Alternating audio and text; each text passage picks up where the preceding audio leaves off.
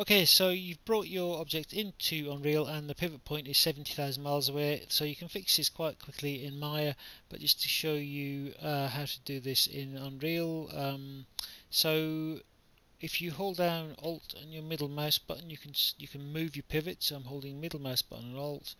Um, so I've got this object selected. You can also go to top viewport. So if you make sure you've got uh, your alt and your middle mouse button. You can move it in this viewport. Uh, to make it a bit more precise let's move that along. Let's go back to perspective.